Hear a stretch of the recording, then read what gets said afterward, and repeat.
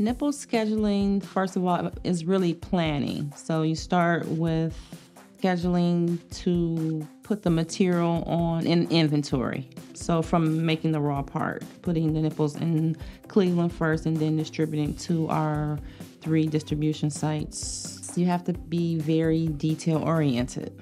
Um, you have to dive into the different areas in Merit. Um, I get to communicate with all the different um, departments within Merit purchasing, marketing, accounting, manufacturing, logistics, IT, everybody. I get to communicate with everyone.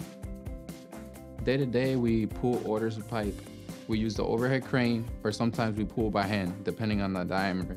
It ranges from 1 4 to 12 inch diameter. We pull stainless steel pipe, aluminum, and brass pipe.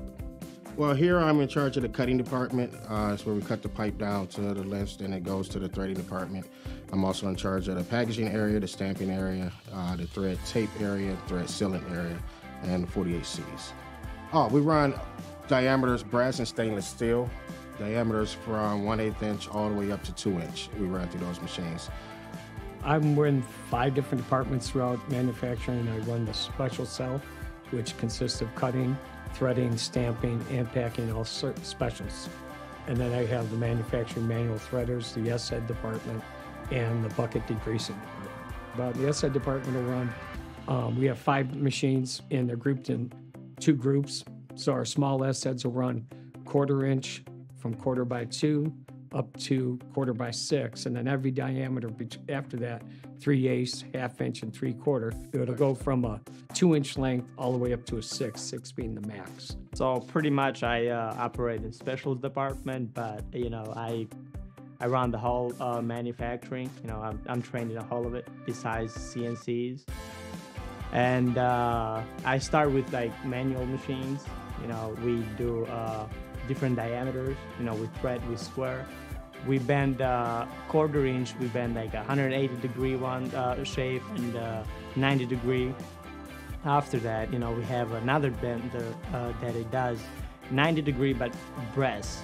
I'm basically the wash guy. I uh, they bring the buckets to the line and I run them through the washer.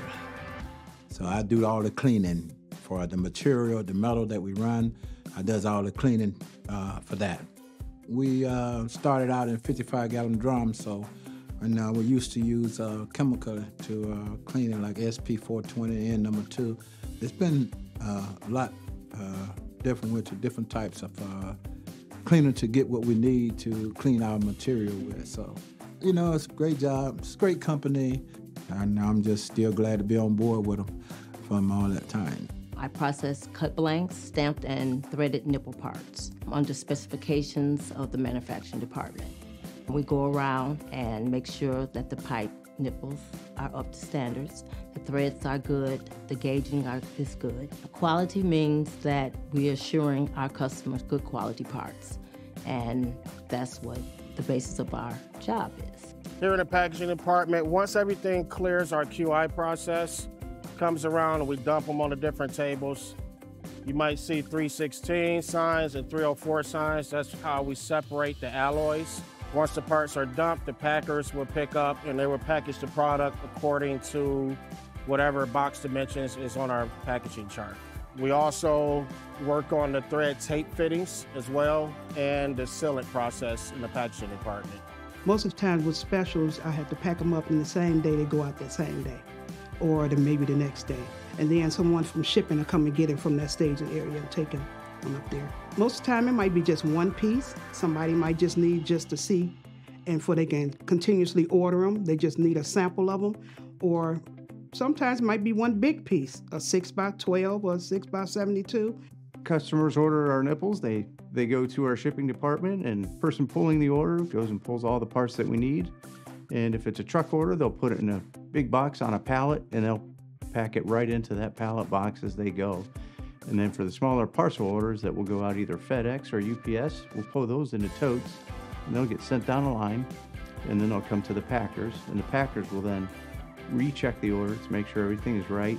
When they do that, then they'll pack the order and they'll put it in a box and make sure that everything is where it needs to be so it doesn't get damaged in the way of shipping.